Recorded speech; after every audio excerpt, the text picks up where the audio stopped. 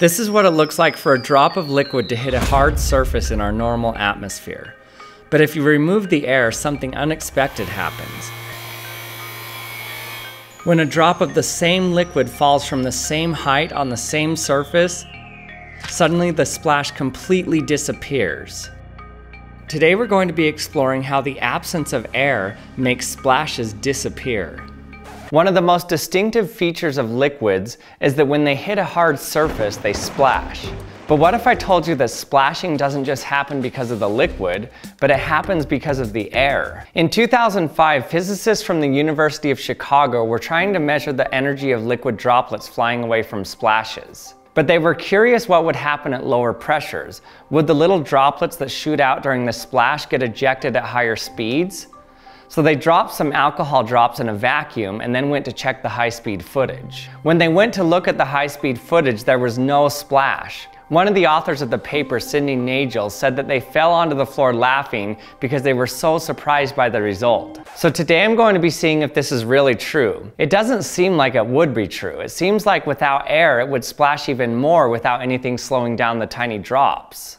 In preparing to do this, it turned out to be more difficult than I originally thought. First, with each drop, it needs to fall onto a non-wet surface so that the liquid that's already there doesn't interfere with the drop. So that either means that A, I get one shot with one single drop of alcohol, or B, I need to figure out a way to get a new dry surface under my drops of liquid in the vacuum chamber. Well, I know for a fact that I won't be able to get a good shot of the drop falling with only one try.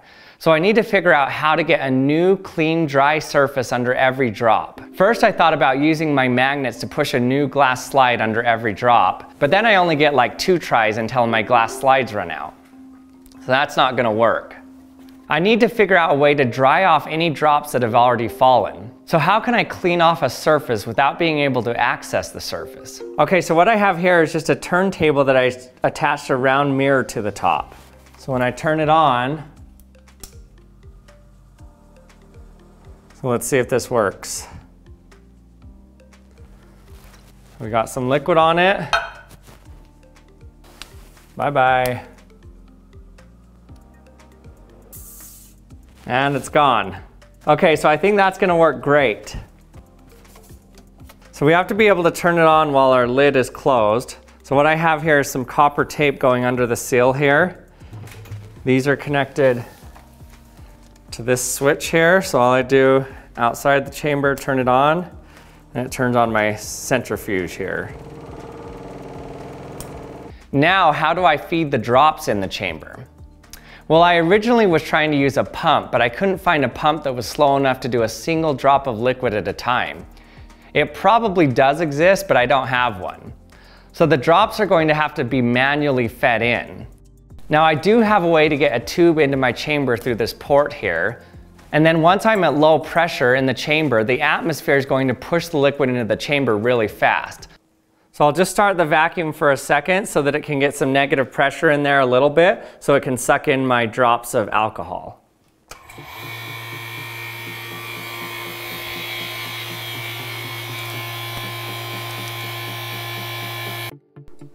So I have it pinched here and you can see if I just put the bottom in the liquid, now I slowly open it.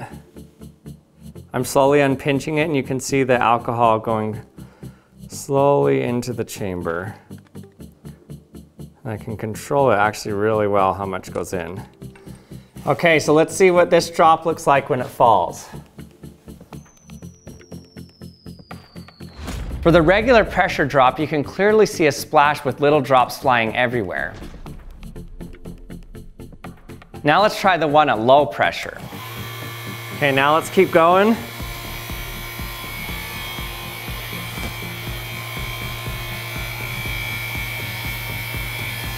Okay, I think we're at low enough pressure now. Negative 685 millibar. Okay, let's see if we can do this. Try to get one single drop. I didn't see a splash.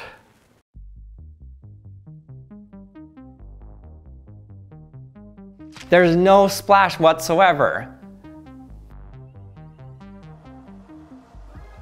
Even though I read the paper, it's still so surprising.